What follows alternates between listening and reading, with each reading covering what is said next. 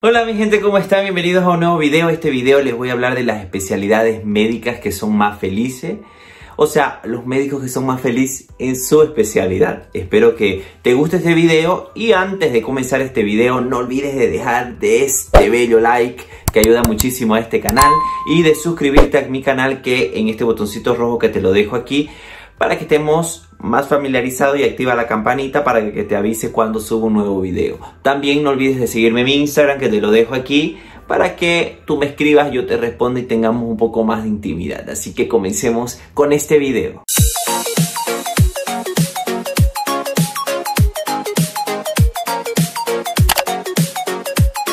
Entonces vamos a comenzar. Medscape hizo una encuesta a más de 15.000 médicos especialistas, médicos generales y de diferentes generaciones haciendo preguntas sobre cómo se sentían en su especialidad, cómo se sentían en la carrera o cómo fue la carrera. Me pareció muy pero muy interesante este artículo que hicieron sobre estos médicos y sobre también nosotros porque estamos incluidos en este artículo donde se vieron cuáles eran las, las, personas más felices en su trabajo en estas especialidades y se le hizo diferentes preguntas que yo les voy a mostrar aquí algunas. Y si tú quieres ver más sobre este artículo, pues te voy a dejar acá el link para que tú lo veas y veas, quizás te inclines por alguna o por otra y no sé, sacar tus propias conclusiones. Dentro de este artículo, eh, Medscape dividió a los médicos en tres generaciones. Los Baby Bombers, Generación X y los Millennials. La primera pregunta que ellos hicieron fue, ¿eres feliz fuera del trabajo? Los Millennials fueron los que eran más felices, luego continuaba la generación X y luego los baby bombers. Luego hubo otra pregunta, ¿cuál de las especialidades eran más feliz en el trabajo? Y en estas, las, las especialidades que eran más felices eran reumatología, cirujano general y especialistas en salud pública. Estas eran las especialidades que los hacían mucho más feliz y que estos médicos eran felices en su día a día. Y los más infelices eran medicina crítica y los neurólogos. Esto podría verse mucho a la carga horaria que ellos tenían o porque no eran bien renumerados, entonces puede haber muchas cosas. Por eso les recomiendo que vayan y lean el artículo para que ustedes entiendan y si ustedes se identifican. Luego hicieron otra pregunta, ¿qué especialidad elegían cada una de estas generaciones? Dermatología, medicina interna, neurología, cirugía general era elegido más por los millennials. Aquí yo les estoy diciendo algunas preguntas que se hicieron porque son bastante, entonces yo les voy a resumir las que me parecieron mucho más importantes y quizás eso es lo que a, a ti te debe interesar un poco más. Otra pregunta que hicieron fue especialidades médicas con matrimonios más felices. Aquí entraban los la, la, especialidad de nefrología, endocrinología, medicina de la rehabilitación. Estos tenían los matrimonios más felices. Luego venían los matrimonios menos infelices. Y estas especialidades eran especialidades quirúrgicas, cirugía plástica, por increíble que parezca, cirugía ortopédica, medicina crítica. Estas eran las especialidades que eran menos felices. Otra pregunta fue, ¿qué especialistas tienen más autoestima? Y en esta lista entraban cirugía plástica, oftalmólogos y los urólogos. Estas eran los, las personas que tenían la autoestima más alta.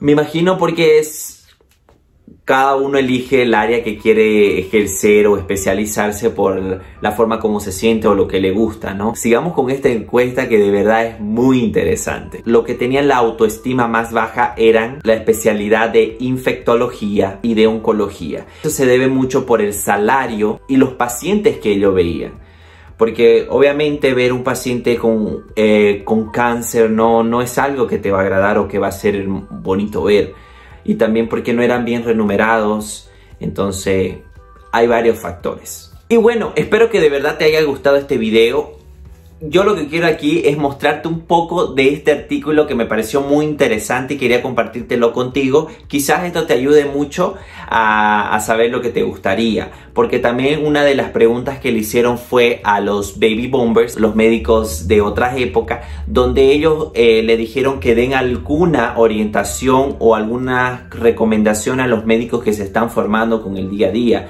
Y decían que estudien eh, medicina porque les gusta, porque les apasiona. porque para que sean felices, para que les guste lo que van a hacer, porque de eso vas a vivir en todo, en todo tu trayecto de tu vida.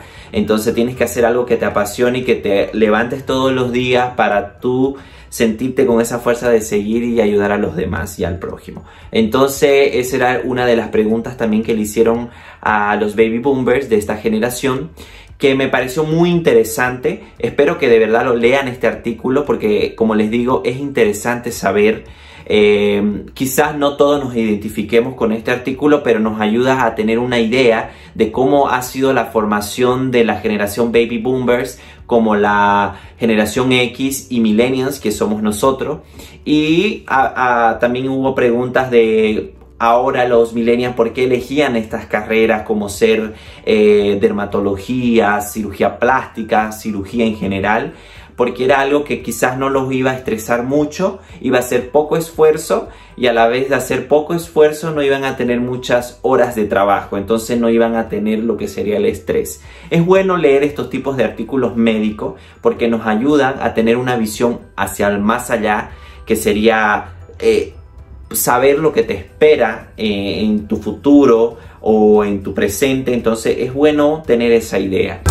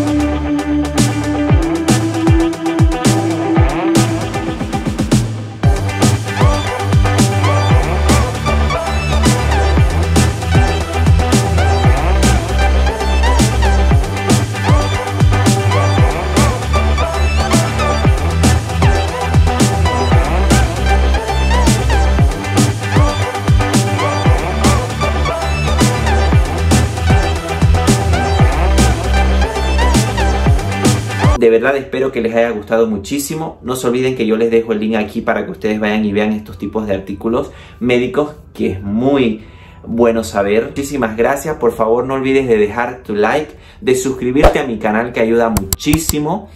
Y que siempre estés atento, actives la campanita para que te avise cuando yo suba un nuevo video. Nos vemos en un próximo video. Chao, chao.